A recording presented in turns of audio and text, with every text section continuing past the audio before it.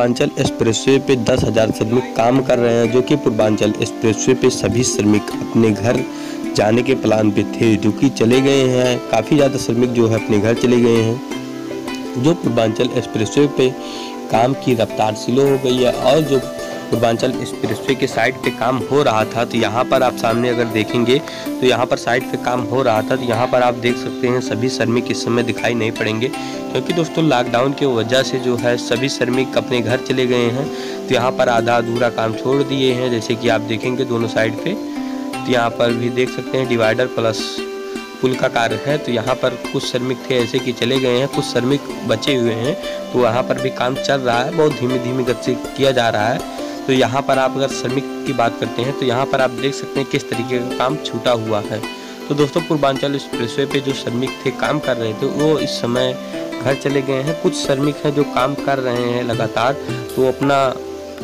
दूरी बनाकर अपना कार्य कर रहे हैं, जो पूर्वांचल एक्सप्रेसवे का कार्य ताकि पूर्ण हो सके और पूर्वांचल एक्सप्रेसवे को जल्द ही चालू कर दिया जाए। क्योंकि दोस्तों, पूर्वांचल एक्सप्रेसवे जितना जल्दी चालू होगा, उतना ही जल्दी जो है, गाँव का विकास होगा प्लस रोज़गार भी मिलेगा कुछ गाँव वालों को जो कि बड़ी बड़ी फैक्ट्रियाँ बड़ी बड़ी एजेंसी मंडी तो यहाँ पर पूर्वांचल एक्सप्रेसवे के बगल में ज़मीन ढाई सौ एकड़ दो सौ एकड़ का निर्देश पहले से दे दिया गया है। तो वहाँ पर पूरा करेंगे। यहाँ से अगर आप देख सकते हैं तो यहाँ पर अभी बीम का काम नहीं हुआ है प्लस नीचे की देख सकते हैं आप काम कंप्लीट कर दिया गया है। यहाँ पर देख सकते हैं अभी ताज़ा है जो कि दो तीन दिन हुआ। यहाँ पर बीम का काम की, किया गया था तो यहाँ पर देख सकते हैं कुछ इस तरीके का सारा सामान रखा हुआ है पूरे तरीके से। बटोरा नहीं गया मतलब समेटा नहीं गया है तो यहाँ पर आप देख सकते हैं। अभी मिट्टी की पटाई भी नहीं की गई है, यहाँ पर बीम की ढलाई भी नहीं की गई है पूर्वांचल एक्सप्रेसवे, जो कि नीचे गाँव की एरिया की आपको डिशेस दिखाते हैं कुछ। तो यहाँ पर देख सकते हैं जो यहाँ पर है। ये गाँव है जो कि नीचे से डामर का काम और एक सड़क निकाला जाएगा पूर्वांचल एक्सप्रेसवे की तरफ़ से, जो अगर पूर्वांचल एक्सप्रेसवे है, ताकि कंप्लीट हो सके और पूर्वांचल एक्सप्रेसवे काफ़ी ज़्यादा मात्रा में